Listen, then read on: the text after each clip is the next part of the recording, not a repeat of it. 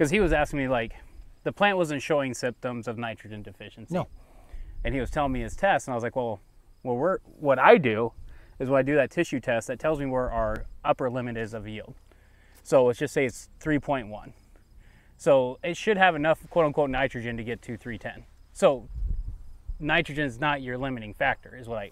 Okay. It was, was the way I was It wasn't trying to- pounds, it was No, bushels. It was okay. bushels. So misunderstanding Yeah. on my part. Yep. But it's you. it's one of those things like I've seen some fields that have a two, a 1.7, and they and this is dryland. Yeah. And they still crank out 160, 170 bushel corn.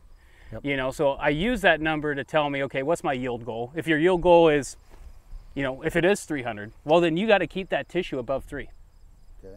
Okay. Now, with that being said, there's a fine line too in the sense of what time of year is it? Because I usually do that at R2 is Okay. when I use that determination. Earlier in the season, you actually you want that number to be higher than that. Uh, Yeah. The way I see it is a is a percent higher. So if you're shooting for 200 bushel, you need to have it above three throughout all vegetation.